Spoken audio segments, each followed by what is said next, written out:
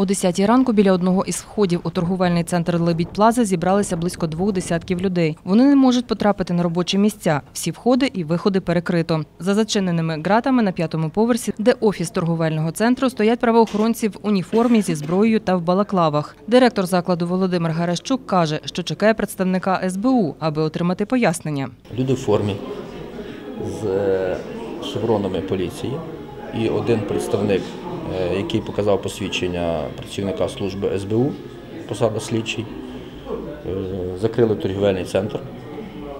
Е, Працівників не допускають до робочих місць. Е, Пояснень ніхто ніяких не дає.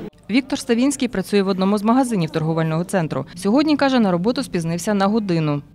Я і не вдавався в подробиці, так зрозумів, що щось пов'язане з правоохоронними органами, то думаю, ну, значить так треба.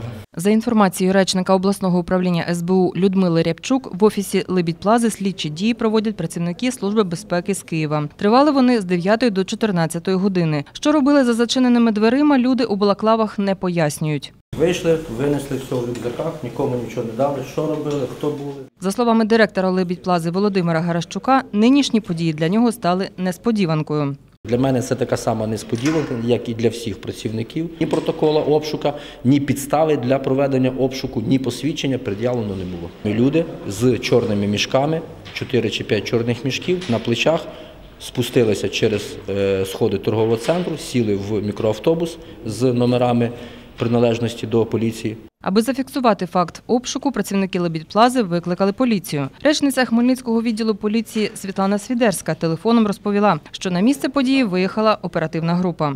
Близько другої години дня надійшло повідомлення зі служби 102 від громадянина про те, що за адресою місто Хмельницький, вулиця Кам'янецька, повідомив, що 8-9 невідомих осіб у масках із застосуванням зброї і шевронами заволоділи майном та спакували 4-5 мішків. На місце події була направлена слідча оперативна група. Наразі тривають слідчі оперативні дії. Наша редакція також направила запит у Службу безпеки України, аби там пояснили причину проведення слідчих дій у Либідь-Плазі. Ірина Аріон, Дем'ян Цегольник. Новини Поділля Центр.